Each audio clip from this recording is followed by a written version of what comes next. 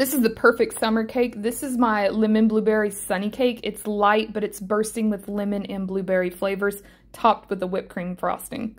So to a mixer, we're gonna add some butter, eggs, lemon juice, lemon zest, vanilla extract, and milk. You're gonna mix that up really quick, and then we're gonna cheat by adding some white cake mix.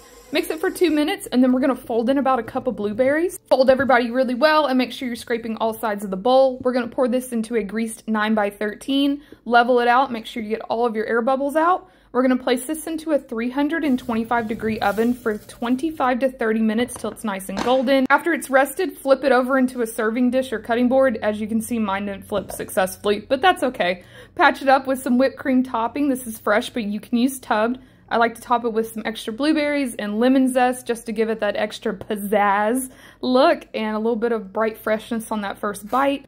As soon as you show up to any backyard barbecue with this cake, you'll be deemed the dessert person from now on. Hope you enjoyed this recipe. It'll be in the comments. Make sure you follow along for more of these great recipes, and I'll see you next time on Bailee's Kitchen.